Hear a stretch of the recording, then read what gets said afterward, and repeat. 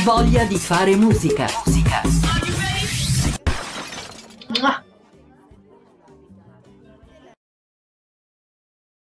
Autoclub storico italiano, o meglio ASI che fa parte dell'Autoclub storico italiano, una raccolta incredibile di moto, ma non solo moto, anche vespe. Eh, ne parliamo con, con, di scooter con Ariel Azzori, eh, lei è...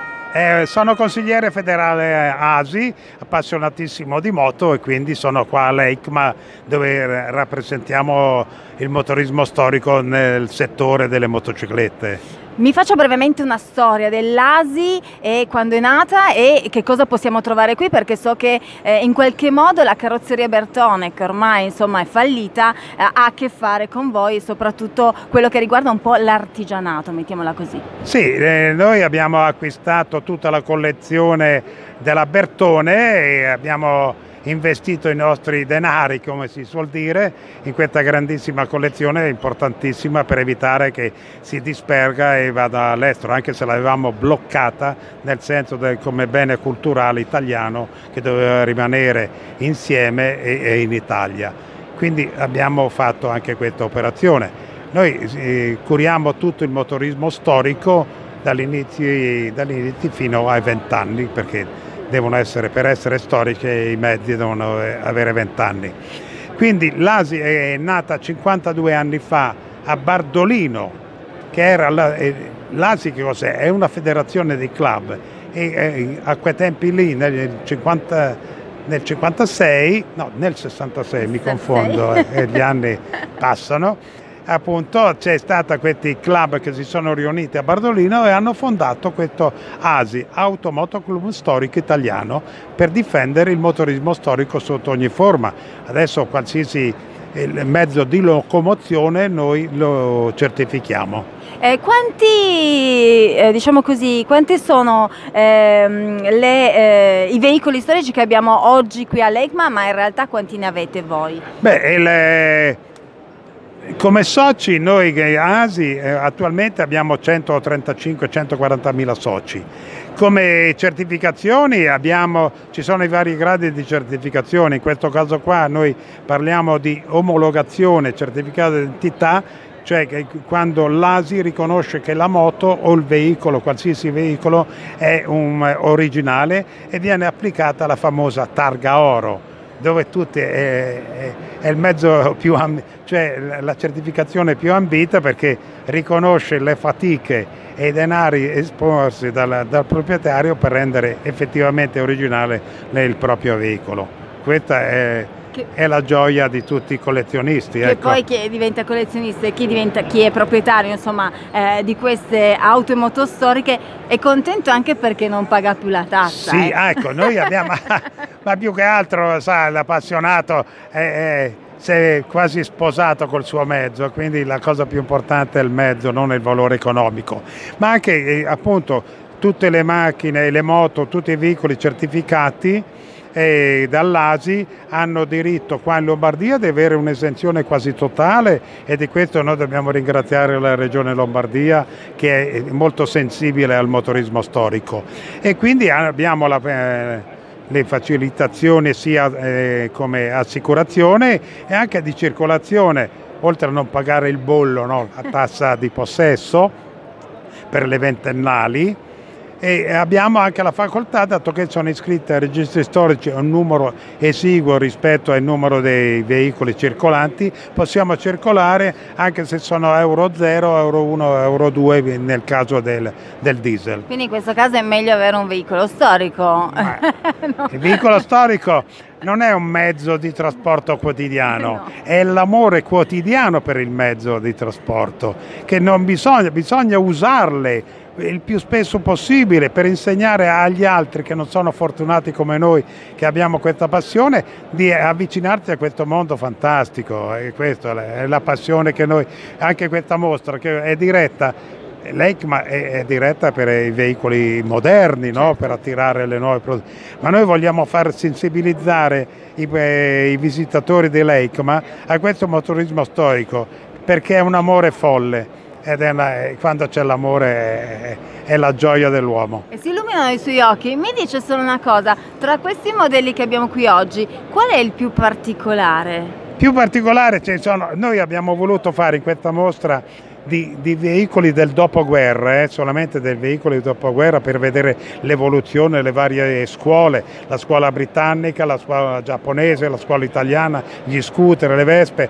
Ecco, il, il pezzo più importante è l'MV 4 cilindri da Gran Premio, però ecco, vabbè, Tanto eh, perché è importantissimo, perché ha vinto il campionato del mondo portato da Agostini, da Giacomo Agostini, ma anche tutti gli altri mezzi hanno rappresentato la storia anche eh, sociale dell'Italia. I vari scooter hanno permesso alla gente di muoversi, di conoscersi, di, di divulgare le proprie idee e quello è l'importante delle- delle- del veicolo e quindi questi veicoli hanno rappresentato dall'inizio degli anni 50 fino agli anni 80 eh, che hanno quelle moto, le- i sogni da ragazze quando uno aveva il Cava 900 si sentiva il- l'Agostini di turno sulle strade normali, peccato eh, che eh, sono finiti quei tempi. Sente, in chiusura, visto che è simpaticissimo e mi ha spiegato tantissimo, se lei dovesse portare una donna Eh, in giro, quale sceglierebbe? Il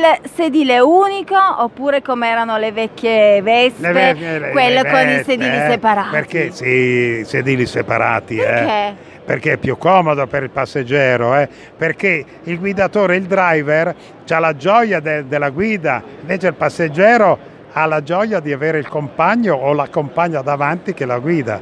Quindi è, è tutto, diamogli almeno la comodità de- eh, Del viaggio. del viaggio, ecco. Che poi dove porta il viaggio non si sa. Ma sì, la moto è la cosa più bella, io ho anche le macchine, no? Ma la moto ti senti più avventuroso, ti, ti piace più l'avventura, ti vai in giro senza nessuna meta per provare la gioia di, di vedere la natura e anche per provare il proprio mezzo. Ah, dovevano studiarsi. Terribile, io non l'avrei mai fatto. Non l'avrebbe mai fatto? No, io, io non l'avrei mai fatto. Allora, visto che dobbiamo provare l'ebbrezza di com'era ecco. stare in sella e nei Ad sedili lambre- separati. Ecco, ad una lambretta del 1956 modello LD.